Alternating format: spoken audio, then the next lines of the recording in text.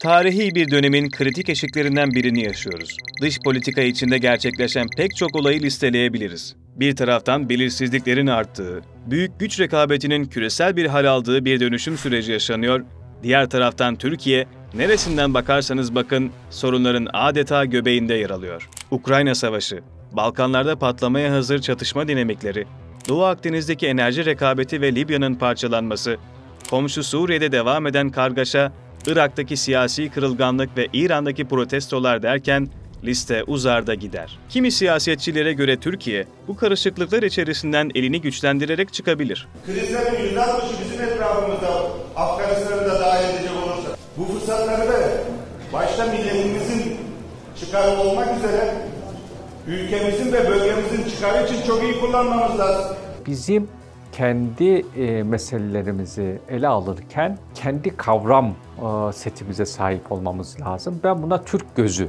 diyorum. Bir Türk gözüne sahip olmalıyız ki baktığımız coğrafyalarda başka e, lenslerden bakılarak şekillendirilmiş kavramlar bizim davranışlarımızı etkilemesin. Örneğin Rusya-Ukrayna savaşının dünyada neden olduğu enerji ve gıda krizi Türkiye için hem avantaj hem de dezavantaj olarak görülebilir. Kısa vadede savaşın sona ermesi pek mümkün görünmüyor.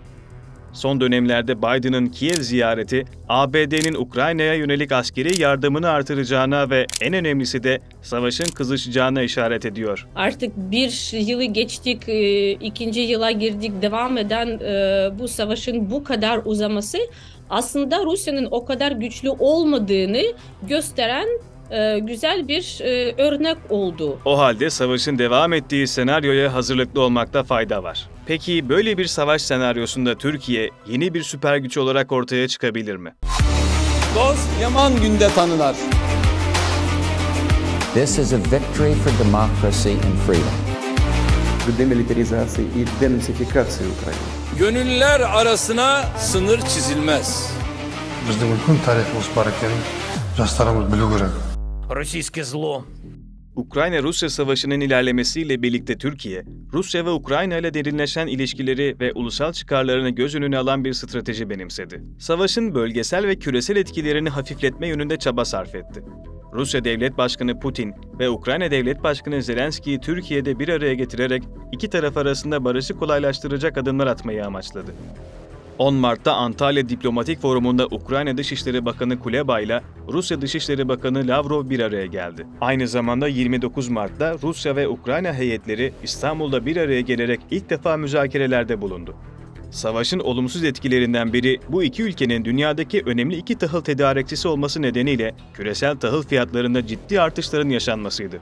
Ukrayna tahılının Karadeniz limanlarından güvenli bir biçimde dünyaya dağıtımındaki çözümün anahtarı Türkiye oldu. Neredeyse kimse bu anlaşmanın gerçekleşmesine ihtimal dahi vermezken Ukrayna Karadeniz limanlarındaki ablukayı kaldırdı.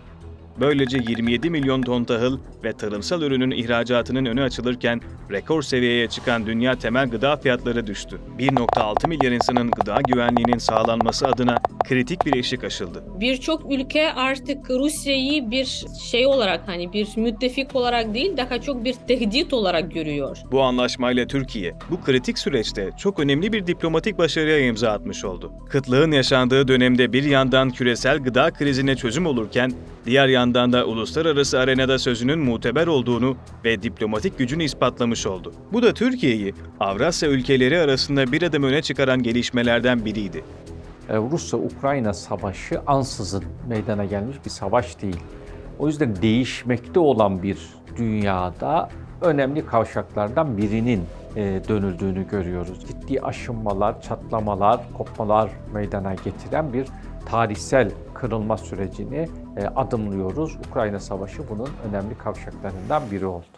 Bu savaş nedeniyle batılı ülkeler Rusya'ya modern tarihin en kapsamlı yaptırımlarını uygulamaya başladı. Bu yaptırımların Rus ekonomisine faturası ağır oldu. Rusya Ekonomik Kalkınma Bakanlığı, ülke ekonomisinin %2.9 küçüleceği tahmininde bulunurken, Rusya Merkez Bankası daralmanın %3 olacağı öngörüsünde bulundu. IMF ise Rus ekonomisinin bu yıl en az %3.4 küçüleceğini tahmin ediyor. Bu durumun en büyük sebebi ise ABD ve AB ülkelerinin Rusya'ya ağır yaptırım kararları alması oldu. 2022'de Rusya, Kırım'la Güney Ukrayna arasındaki kıyı topraklarının kontrolünü ele geçirerek kazanımlarını genişletti. 2022 yılı sonu itibarıyla da Ukrayna, Dinyeper Nehri'nin sadece batısını kontrol ediyordu. Böylece Rusya'nın Ukrayna limanları ve kıyı şeridi üzerindeki fiili kontrolü bölgedeki güç dengesini lehine çevirdi. Ancak 1936'da imzalanan Montreux Boğazlar Sözleşmesi'ne göre Karadeniz'den geçecek askeri ve ticari gemilerin geçişini kontrol eden Türkiye, Rus savaş gemilerinin geçişini engelledi. Bu gelişme de Rusya'yı savaşta büyük bir sekteye uğrattı.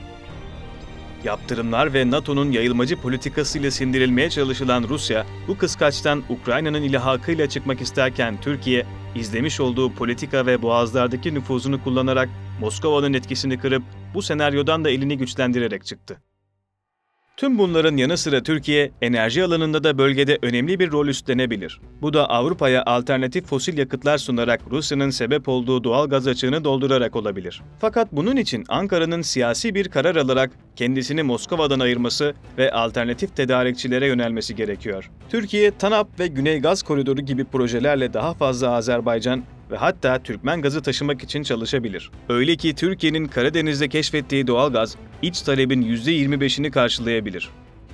Ayrıca Türkiye, Doğu Akdeniz'deki gaz arama faaliyetlerini hızlandırarak bu bölgenin kaynaklarından da yararlanabilir. Aynı zamanda yeni LNG terminalleri ve yeniden gazlaştırma tesislerinin inşa edilmesiyle Rusya karşısındaki duruşunu önemli ölçüde güçlendirecektir. Bu hedeflere ulaşmak içinse Türkiye'nin uluslararası finans kuruluşlarından, NATO ve AB'den siyasi destek alması gerekebilir. Genel anlamda bahsettiğimiz sebeplerden ötürü Türkiye, Avrasya bölgesinde enerji merkezi olma konusunda Rusya'ya en iyi alternatif olarak gösterilebilir. Ayrıca Ukrayna işgalinden ve işlediği insanlık suçlarından ötürü uluslararası siyasette popülerliğini gittikçe yitiren Rusya'nın Türk dünyasındaki rolünü de Türkiye üstlenebilir. Öyle ki araştırmacılar Rusya'nın savaş hali ve uğradığı yaptırımlar sonucunda Türk dünyasında etkisini yavaş yavaş kaybettiğini söylüyor. Rusya kendi çıkarlarını koruya, koruyamıyorsa bizim çıkarlarımızı nasıl korusun? Kırgızistan, e, Türkmenistan, işte Avrasya'da başka ülkeler, Kazakistan bütün bu sorular çıkmaya başladı ve artık Çin ile işbirlikleri arttı. Türkiye ile işbirlikleri arttı. Mesela Türkiye'den dronlar satın alındı. Türk İslam dünyasının öncüsü olarak görülen Türkiye ise siyasi nüfuz açısından bölgede Rusya ve Çin'den sonra akla gelen isimlerden ilki. Doğu Batı arasındaki ticarette ortak çabalarımızla önümüzdeki dönemde bu tür stratejik projelerin sayısı daha da artacaktır. Cumhurbaşkanı Erdoğan, bölgedeki ilişkilerini güçlendirmek için kazan kazan politikasını özveriyle yürütüyor. Türkiye ile e, kurdukları işbirliği, işte en somut örneği gittikçe ivmelenen Türk Devletleri Teşkilatı'nda görülür.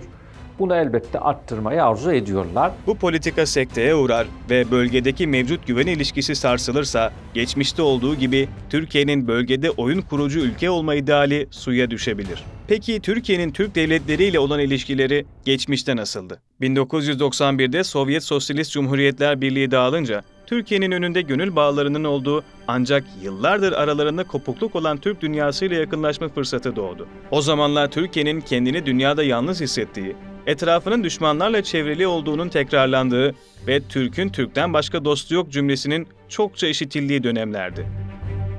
Örneğin Orta Asya, TRT'de gösterilen İpek Yolu belgeseliyle evimize gelen ve dilleri, adetleri bize benzeyen insanları görünce heyecanlanılan bir yerdi. Türk dili konuşan halklar bağımsız olmadıkları için ulaşılamayan, uzaktaki kardeşler gibi yakın hissediliyordu. Orta Asya Türkiye için o kadar ulaşılmazdı ki o belgesel aracılığıyla Orta Asya'yı bize gösterenler dahi Türkiye'nin kendi belgeselcileri değil, yalnızca Sovyet Sosyalist Cumhuriyetler Birliği ile iyi ilişkilere sahip olan Japonlardı. Ancak Sovyet Sosyalist Cumhuriyetler Birliği'nin dağılmasından sonra bölgedeki ilk temasları gerçekleştiren ülkelerin başında Türkiye geliyordu. 1992'nin Ocak ayında TİKA, yani Türk İşbirliği ve Kalkınma Ajansı kuruldu. Tarihi, kültürel bağlar yavaş yavaş inşa edilmeye başlandı. O dönemlerde atılan tohumlar günümüzde meyvesini vermeye başladı. Öyle ki Azerbaycan halkının çeşitli zulümlere maruz kaldığı ve elinden çalındığı Karabağ bölgesinin tekrar asıl sahiplerine kazandırılmasının mücadelesi verilirken tüm Türk dünyasının kalbi Türkiye ve Azerbaycan'la birlikte attı. Birinci Karabağ Savaşı'nda Türkiye kendi pozisyonu gereği veya güç dengeleri, imkanlar gereği Azerbaycan yeterince destek olmama, olmamıştı ve bu bir buruk olarak devamlı hem bölgenin hem de e, Türkiye'nin hafızasında vardı. Ama 2. Karabağ Savaşı'nda hem Türk dünyası hem bölge gördü ki bu savaş Türkiye'nin desteğiyle Türkiye'nin siyasi, askeri ve aktif bölgede rol almasıyla kazanıldı ve bu bütün Türk dünyasında ta Çin Seddi'ne kadar Türkiye'nin gücünü, Türkiye'nin pozisyonunu, Türkiye'nin ağırlığını her anlamında artırdı ve bundan sonra da bunun çok büyük bir domino etkisi olacaktır. Bu domino etkisinin sayesinde bir gün Türkiye'yi Türk dünyasıyla doğrudan bağlayan Zengezur Koridoru'nun tamamen açılması mümkün olabilir.